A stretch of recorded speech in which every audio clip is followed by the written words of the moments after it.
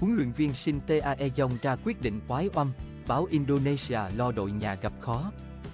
Huấn luyện viên Shin Tae-yong khiến tất cả ngỡ ngàng khi ông muốn đổi lịch thi đấu trận gặp Iraq trên sân nhà. Báo chí xứ Vạn Đảo cho biết trận đấu giữa đội tuyển Indonesia và đội tuyển Iraq sẽ được đời lịch từ 19 giờ 30 phút thành 16 giờ ngày 6 tháng 6, theo giờ Việt Nam. Đại diện Liên đoàn bóng đá Indonesia chính thức xác nhận thông tin trên vào ngày 19 tháng 5.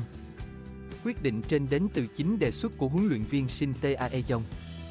Nhà cầm quân người Hàn Quốc muốn trận đấu diễn ra sớm hơn nhưng không công khai lý do. Người hâm mộ Indonesia thắc mắc lựa chọn của ông Shin bởi thời điểm 16 giờ mùa hè tại Indonesia không hề thuận lợi cho việc thi đấu thể thao. Theo Bola, thời tiết nắng nóng, hàm lượng oxy giảm đáng kể trong sân vận động đông người là hai rào cản lớn với cầu thủ. Đặc biệt, những người được vừa được nhập tịch vốn quen với khí hậu châu Âu sẽ gặp rất nhiều khó khăn. Tình trạng này từng xảy ra hồi tháng 3. Khi so, các cầu thủ Indonesia mệt mỏi và uể oải dù được thi đấu trên sân Gelora Bung Karno trước đội tuyển Việt Nam. Hiện nay, đội tuyển Indonesia có được 7 điểm, xếp thứ hai tại bảng D vòng loại thứ hai World Cup 2026. Đội tuyển Việt Nam xếp sau với 3 điểm kém hơn. Nếu đội tuyển Indonesia có kết quả tốt trước đội tuyển Iraq, đội tuyển Việt Nam gặp rất nhiều áp lực.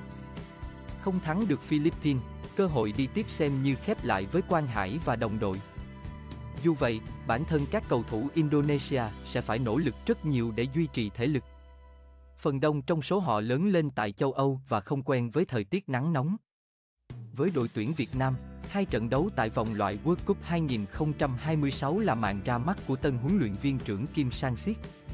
Nhà cầm quân người Hàn Quốc đến với bóng đá Việt Nam vào thời điểm khó khăn.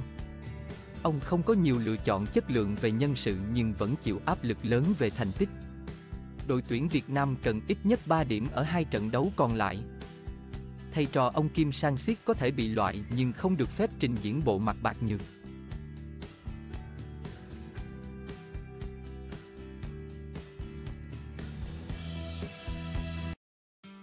Cảm ơn các bạn đã theo dõi video.